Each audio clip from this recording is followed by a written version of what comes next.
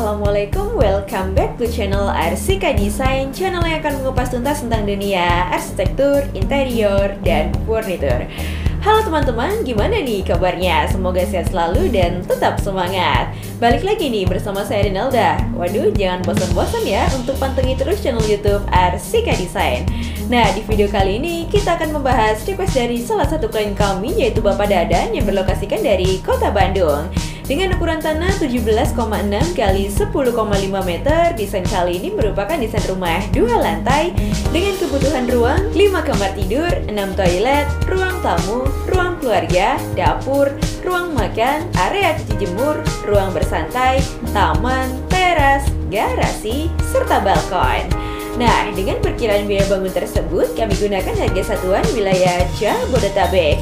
Ingat, tentunya perkiraan biaya ini di luar dari biaya furnitur ya guys. Baiklah, langsung saja ini dia video selengkapnya untuk Anda.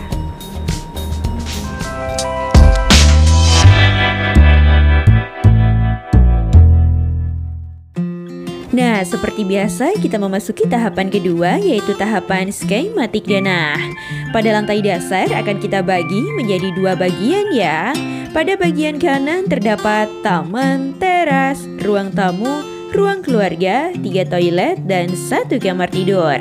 Lalu pada bagian kiri terdapat garasi, ruang makan, dapur, satu kamar tidur, dan taman. Kita lanjut pada lantai satu rumah terdapat tiga kamar tidur, tiga toilet, area cuci jemur, ruang bersantai, dan balkon. Baiklah, selanjutnya mari kita simak tahapan 3D animasinya. Selamat menyaksikan.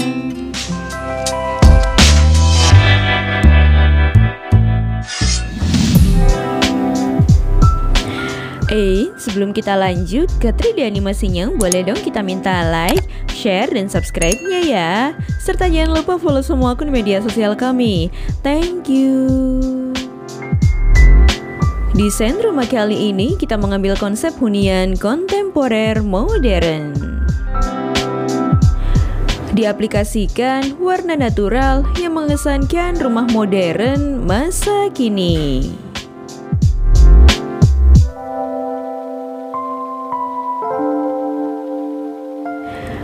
Desain atap lana miring bermaterial spandek menjadi pilihan kami untuk desain rumah kali ini.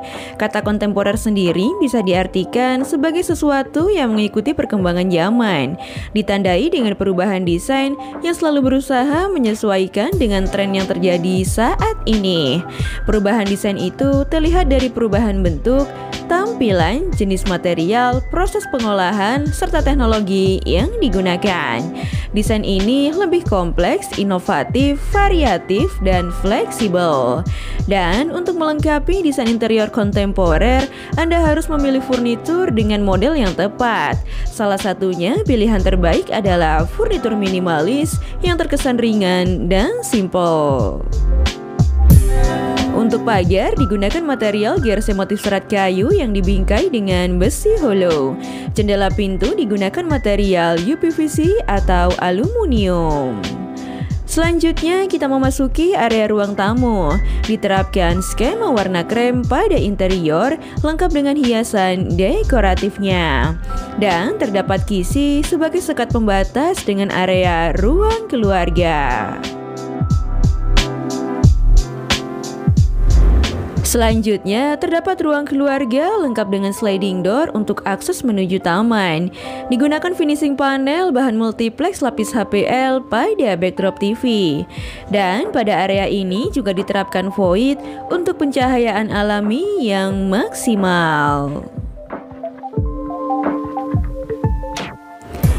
Selanjutnya kita akan beralih ke area ruang tidur tamu yang berukuran 2,5 kali 3 meter.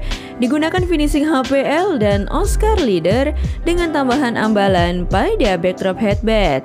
Adanya jendela bukaan lebar agar ruangan tidak pengap ya guys. Serta kamar ini dilengkapi dengan fasilitas toilet di dalam yang berukuran 1 kali 2,5 meter dengan finishing keramik dua motif pada dinding sebagai aksen.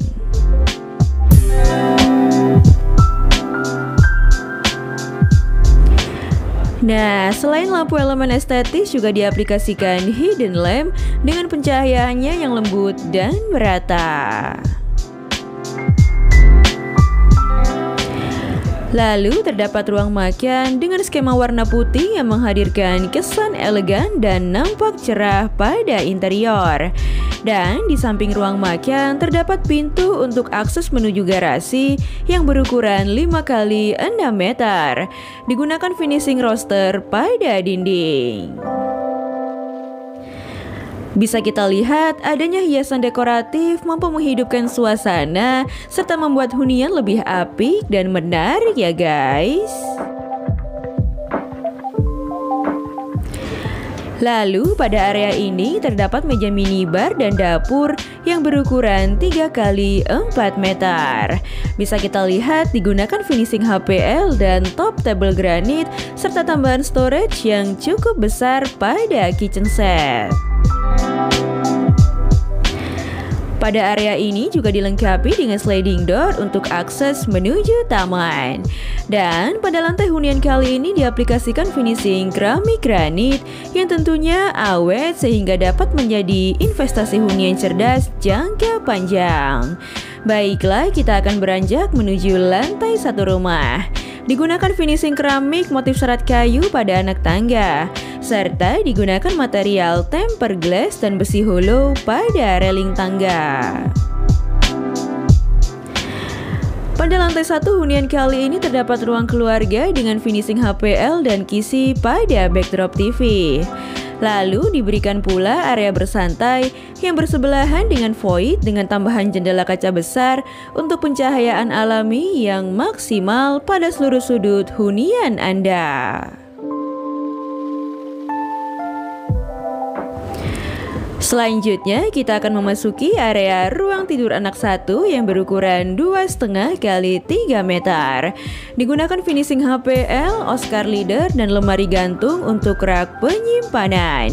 Pada interior didominasi dengan finishing material HPL ya guys.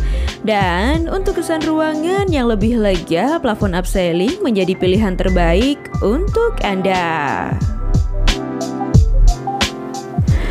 Lalu terdapat ruang bersantai lengkap dengan meja dan sofa yang cukup membuat hunian ini menjadi begitu nyaman. Selanjutnya kita beranjak ke ruang tidur utama yang berukuran 3,6 kali 4 meter.